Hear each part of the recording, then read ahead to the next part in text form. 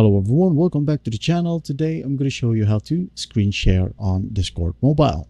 Alright, first thing here, if you are in a call or for example you are on a voice channel, just go ahead and join a voice channel, join voice, allow.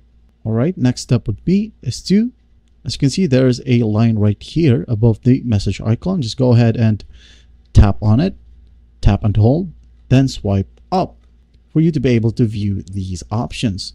Now, what you're going to want to do next is just tap on share your screen right here.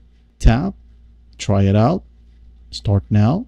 And as you can see here, it says stop sharing. That means that your screen is being shared. Just go ahead and again tap and drag it down and you should be able to see your screen that you are screen sharing now and your friends can also enjoy what you're doing on your phone that's basically it I hope this video helps and please don't forget to share this video to your friends. And if you find this video helpful, please leave a like and subscribe. Thank you for watching.